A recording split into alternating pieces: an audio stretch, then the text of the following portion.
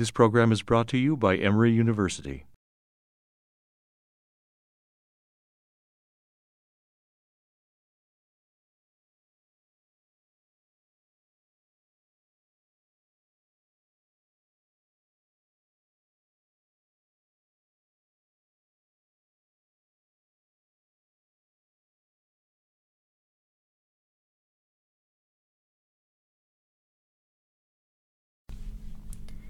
The Old Kingdom, approximately 2707 to 2170 BC, marks the first period of sustained cultural and economic prosperity in ancient Egypt.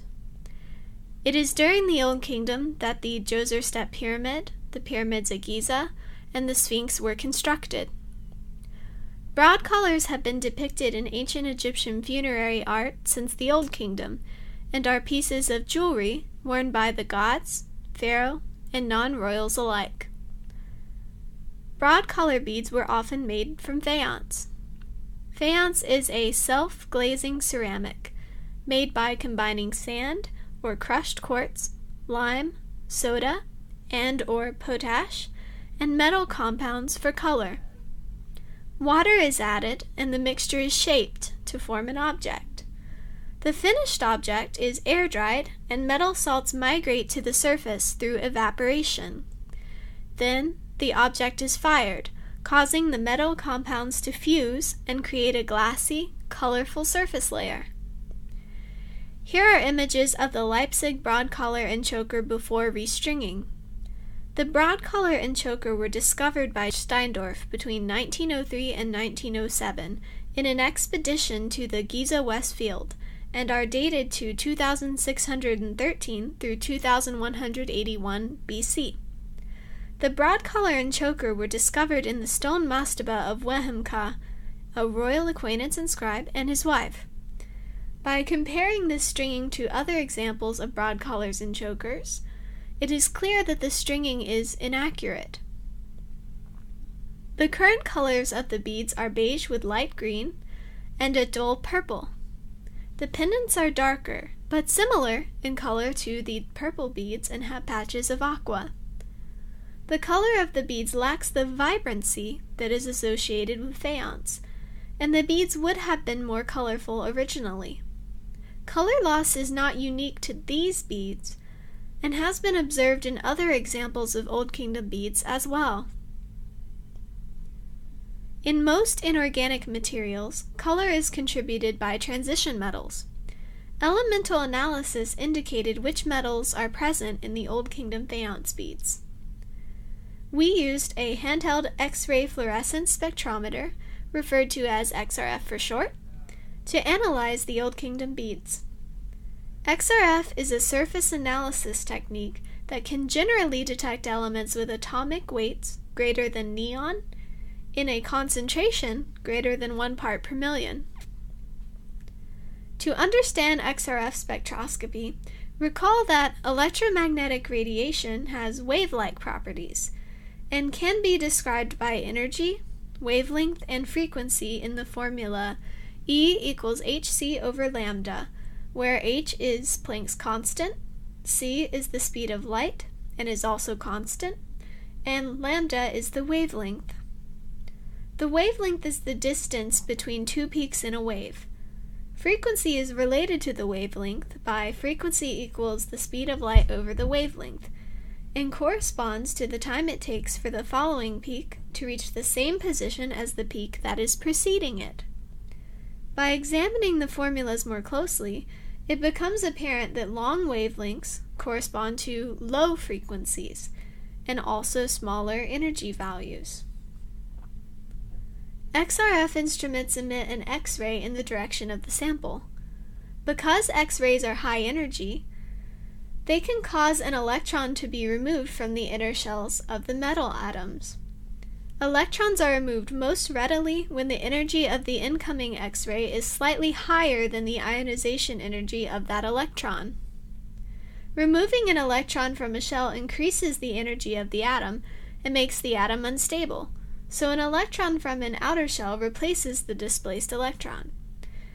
When the outer electron moves to a lower shell, to replace the removed electron, it loses energy because of the Coulombic attraction between the electron and the nucleus.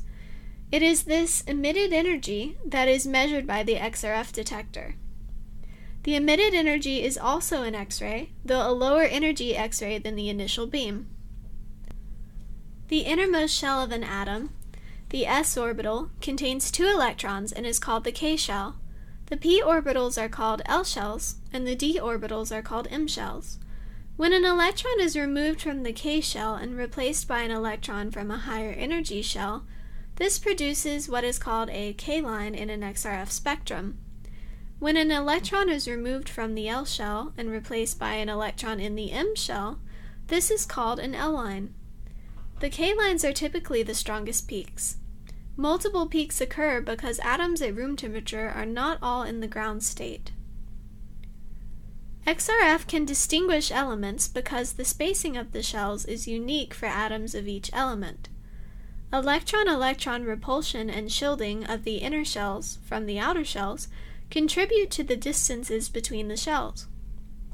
The number of electrons in each shell differs between elements.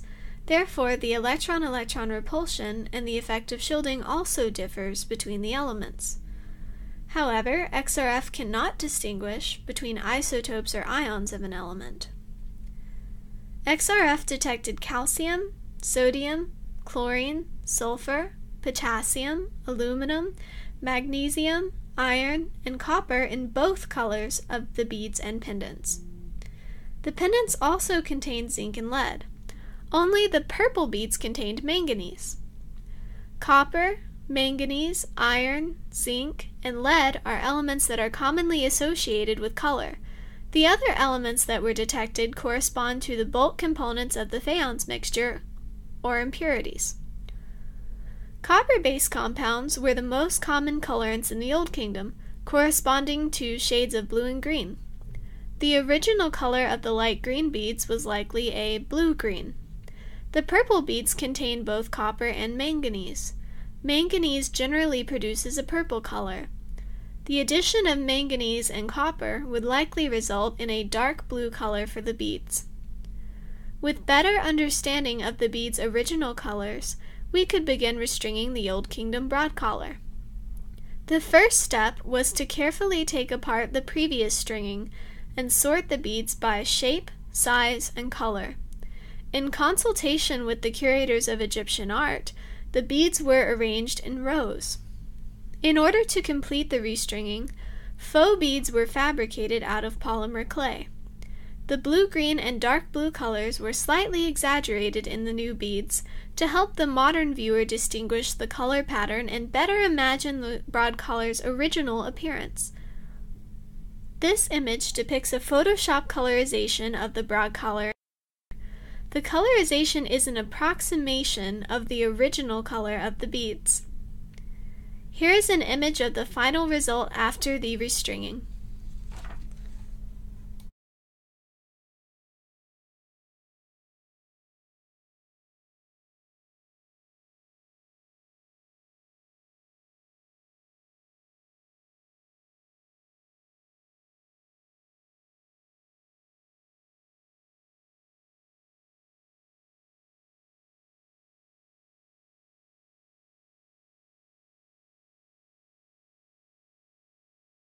The preceding program is copyrighted by Emory University.